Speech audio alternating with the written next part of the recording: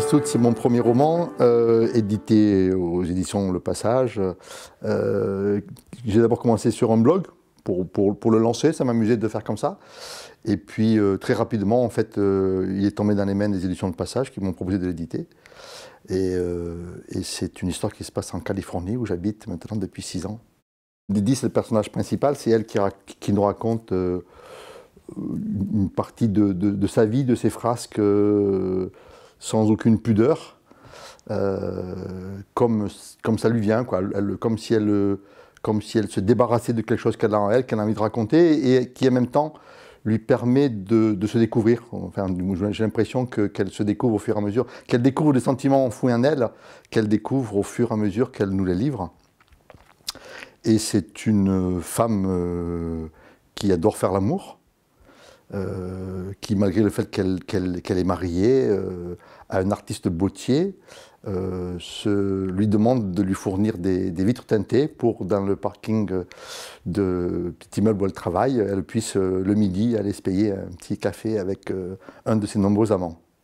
L'idée m'est venue d'une émission que, sur laquelle je suis tombé sur Arte un soir, il y a, il y a 4-5 ans, je me souviens plus exactement quand, qui était une émission sur la sexualité, et où, dans laquelle passaient comme ça des gens euh, qui étaient tous entre 40 60 ans et qui parlaient complètement librement de leur sexualité, sans tabou, euh, sans rien, sans, sans, préjugés.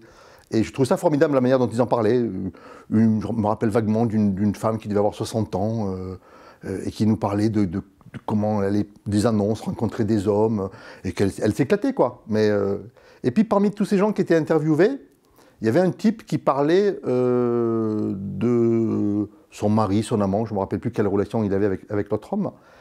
Et il en parlait en toute simplicité, et, il avait, la seule chose qu'il avait de différent des autres intervenants, c'est que ses yeux brillaient lorsqu'il parlait de son amant. Et ça m'a... Voilà, je me suis dit, tiens, lui, il n'a il pas que, le cul, quoi. Il n'a pas que le sexe il y a un petit truc en plus qui fait que lorsqu'il parle de l'homme qu'il aime, ça pétille dans ses yeux. Quoi. Et ça m'a, ça m'a, voilà, ça, m'a habité pendant des années, parce que je, avant de me lancer à écrire euh, avec les, mots de Didi, il m'a fallu des années avant de me lancer là-dedans.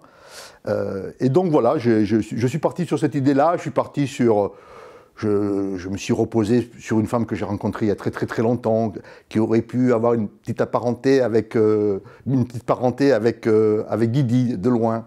Et, euh, tout ça a, nourri ce personnage. Je, quand j'écris quelque chose comme ça, je pars sans trop savoir où je vais.